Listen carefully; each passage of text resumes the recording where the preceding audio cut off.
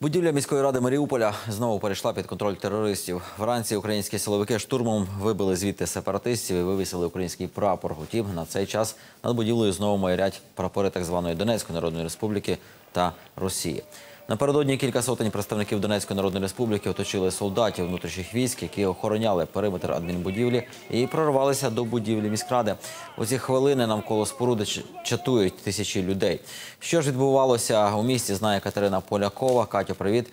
Чи відомо, чому внутрішні війська відступили від міськради у Маріуполі? Привіт, Андрію. Думаю, це питання наразі цікавить багатьох людей. Коментаря офіційної особи поки немає. Місцеве інтернет-видання 0629 пише, що після того, як оточення внутрішніх військ навколо Маріупольської міськради розступилося, до будівлі потрапили представники Донецької Народної Республіки. Вони ж пишуть і про 10 постраждалих з боку терористів. Двоє отруїлися газом, вісім отримали хімічні опіки слизової оболонки очей.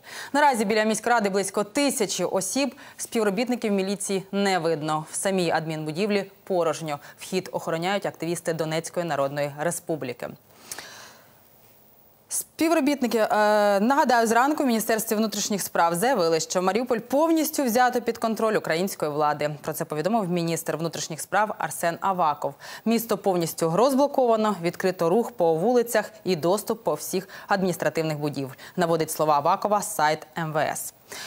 Також зранку місцеві мешканці на фото і відео зафіксували бронетехніку із синьо-жовтими прапорами, яка увійшла в місто. Близько 10 одиниць військової техніки було помічено біля магазину Сільпо. Колону із 10 танків вранці також бачили в районі Ілічівської аглофабрики, які рухалися в бік Маріуполя.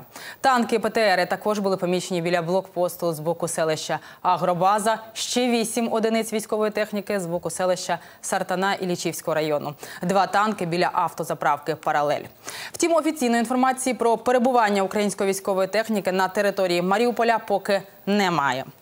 Нагадаю, в ході звільнення будівлі міськради Маріуполя один сепаратист був убитий, двоє взяті в полон. Зокрема, захоплено терориста, який називає себе міністром оборони Донецької Народної Республіки. Його підозрюють в отруєнні українських військовослужбовців. Про це повідомив главред видання Цензор Юрій Бутусов. Сепаратисти очікували активних дій міліції ще з вечора. В центрі міста укріпили барикади і підпалили тролейбус, створивши вогняний щит від атак силовиків. Він згорів вщент. Наразі обгорівший тролейбус прибрали. Інший тролейбус, який також захопили терористи, стоїть з пробитими колесами. Ще зранку біля міськради працювали люди за допомогою техніки. Вони розбирали барикади після того, як українські силовики взяли будівлю під свій контроль. Але станом на цю годину ситуація знову кардинально змінилася.